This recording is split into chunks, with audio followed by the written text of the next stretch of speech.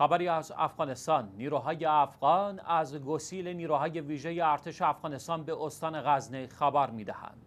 به گزارش شیویوز به نقل از رویترز با وخیمتر شدن اوضاع در استان غزنه و احتمال سقوط مرکز این استان به دست سنی های تندروی طالبان نیروهای ویژه امنیتی ارتش و ضد تروریسم افغانستان به این منطقه اعزام شدند. این در حالی است که سه روز از حمله عناصر طالبان به این نقطه راهبردی که مرکز افغانستان را به جنوب وصل می کند می گذرد. به گفته کارشناسان وضعیت حاضر نشان از عدم آمادگی و غافلگیری حکومت و ارتش افغانستان دارد.